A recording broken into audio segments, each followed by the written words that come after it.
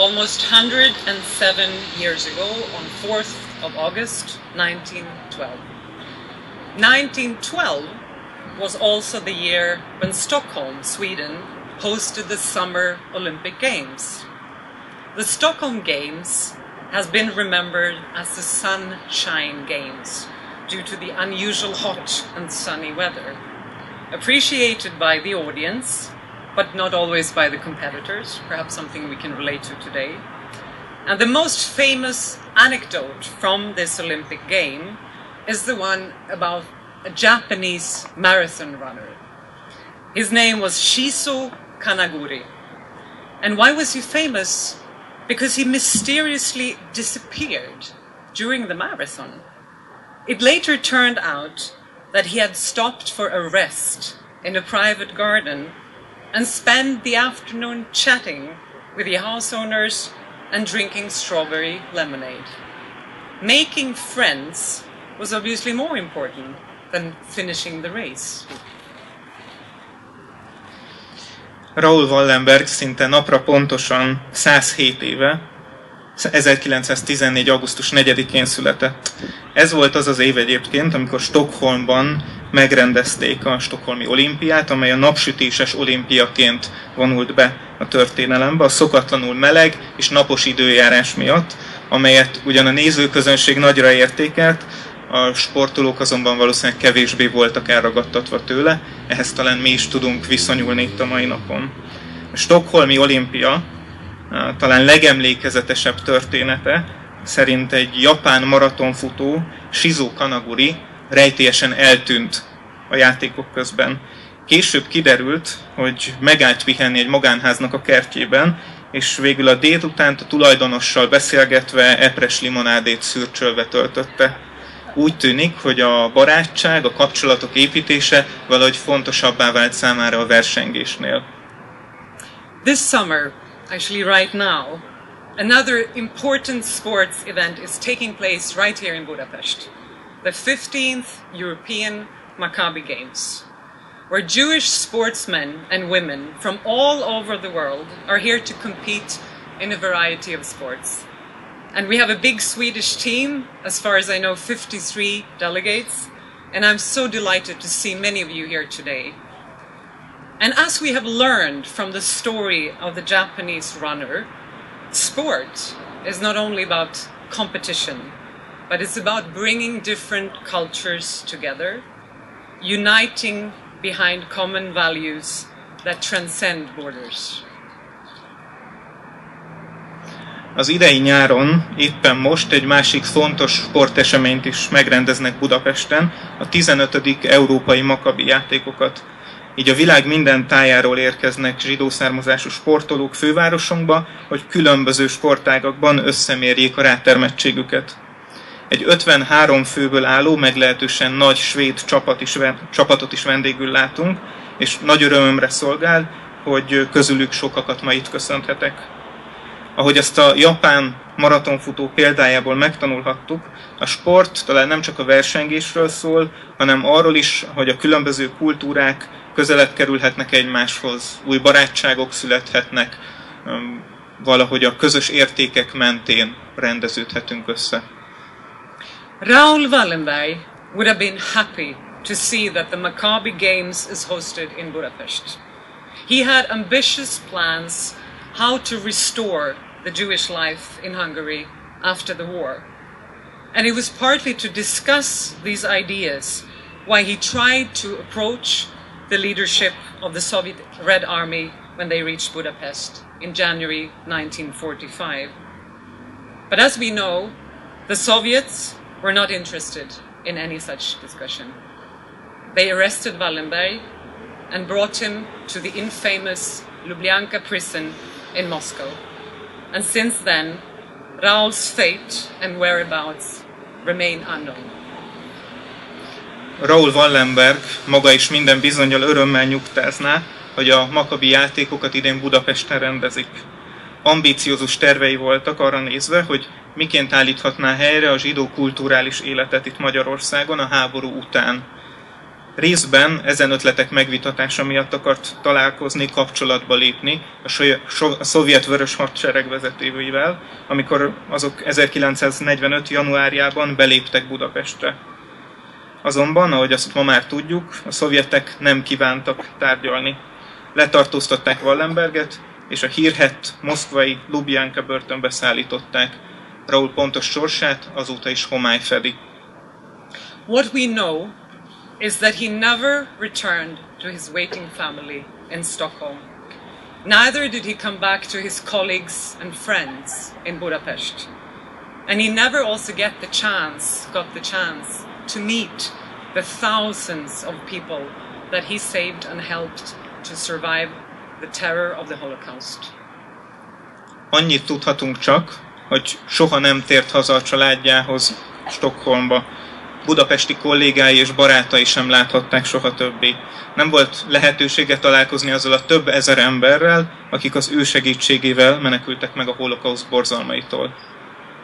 It took some time after the war before the magnitude of Wallenberg's mission in Budapest was fully comprehended and acknowledged. We have all heard about the famous protective passports, Schutzpässe. But during his six months in Budapest, Wallenberg actually established an organization of rescue work, which in the end had more than 350 staff members, something unparalleled in the city at that time. Wallenberg, he ran his organization meticulously in everything, from decision making to food deliveries to accounting and hospital services.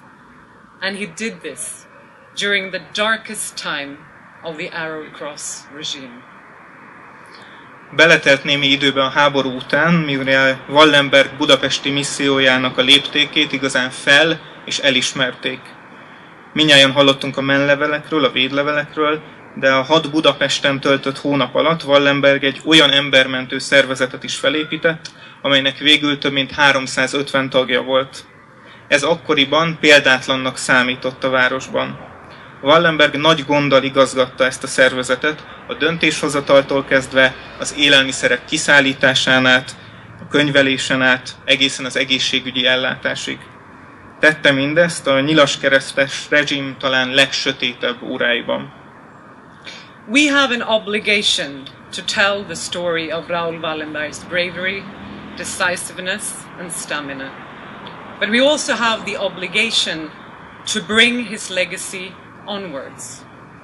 The Swedish Embassy is supporting numerous projects in cooperation with the Hungarian Raoul Wallenberg Association and the Swedish Raoul Wallenberg Academy with the aim to educate, especially school children, about human rights, about personal courage, and about tolerance. Ma egyrészt kötelességünk elmondani Raoul Wallenberg történetét, beszélni a bátorságáról, elkötelezettségéről, de az örökségét is elő kell mozdítanunk. A nagykövetségem számtalan projektet támogat a Magyar Raoul Wallenberg Egyesülettel és a Svéd Raoul Wallenberg Akadémiával együttműködve, amelyek diákoknak mutatják be az emberi jogok, az egyéni bátorság, a tolerancia fontosságát. As Josef also mentioned, we also, a few days ago, on the 2nd of August, we commemorated the International Roma Holocaust Memorial Day. The systematic, barbaric murdering of the Roma people is a part of the Holocaust that unfortunately has not been as well documented and researched. The Roma minority is still experiencing grave discrimination and dire poverty in many places in Europe. And I urge you all to read this novel by the Swedish author Majgull Axelsson. It's called My Name is Not Miriam.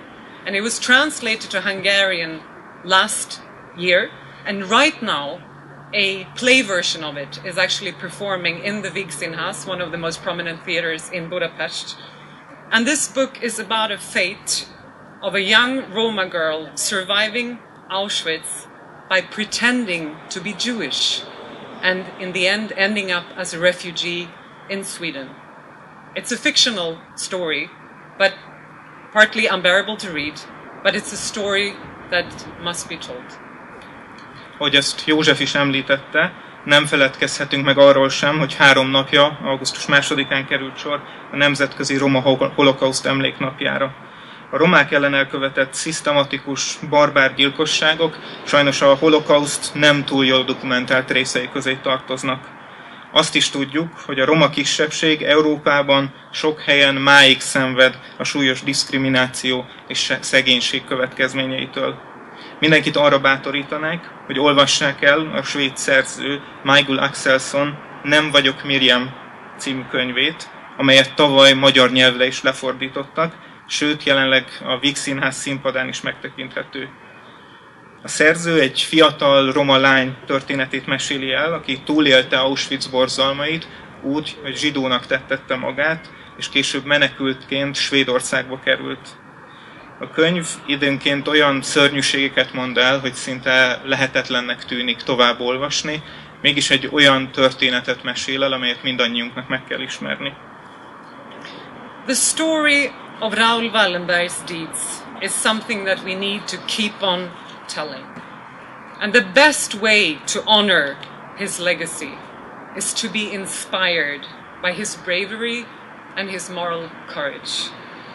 Not everybody of us will become a hero saving thousands of lives, but everyone, each and every one of us, we have the responsibility to reach out to those in need, to stand up for human rights, to speak up against fake news and distorted information, to counter deliberate lies, and to unite where there is division, and to show empathy and inclusion where there are calls for hatred and exclusion.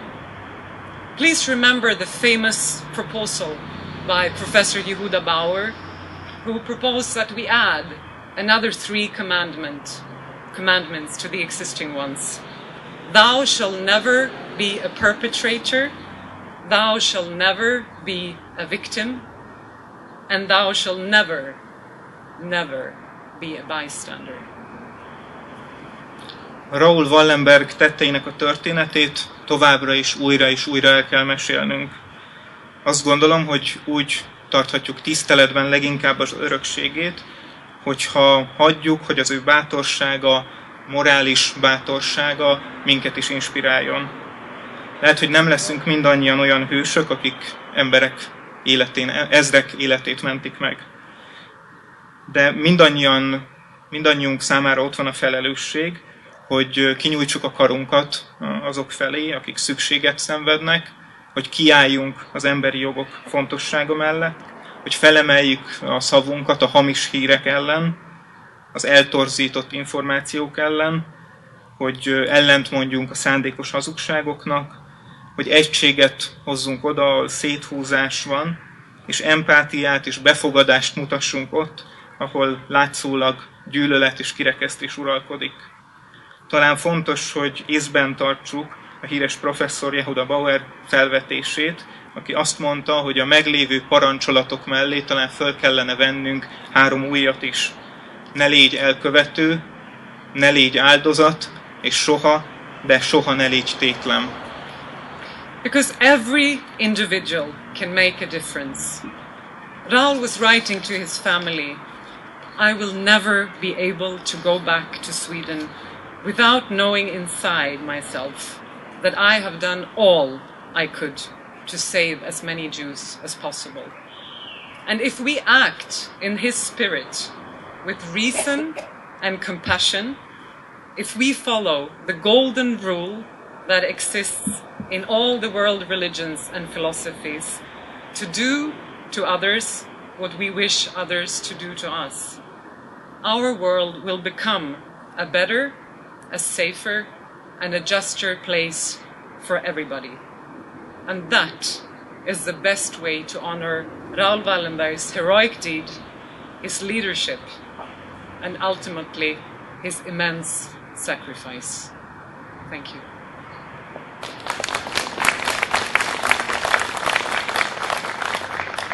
hiszen mindenki képes tenni valamit, változtatni a világon. Raúl így írt a családjának. Nem lennék képes soha hazamenni Svédországba úgy, hogy, hogy azt tudom, hogy nem tettem meg mindent azért, hogy megmentsem az itt élő zsidóságot. És hogyha mi is az ő szellemében szeretnénk cselekedni, észszel és szívvel, akkor követnünk kell azt az aranyszabályt, amely a világ minden vallásában és filozófiájában ugyanaz. Tedd, tégy úgy, ahogy szeretnéd, hogy veled is tegyenek. Így a világunk egy jobb, biztonságosabb és igazságosabb hely lehet mindenki számára. Azt gondolom, hogy ez a legjobb módja annak, hogy tiszteletben tartsuk, megőrizzük Raúl Wallenberg hősies tetteit, vezetési képességét, és végső soron hatalmas áldozatát is. Köszönöm.